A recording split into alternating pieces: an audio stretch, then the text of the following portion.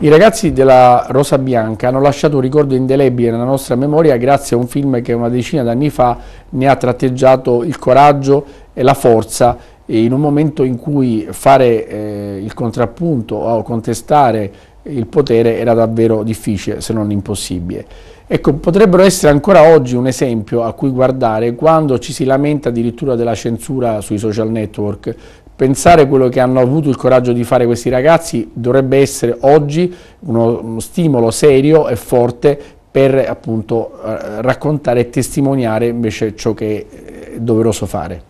Credo di avermi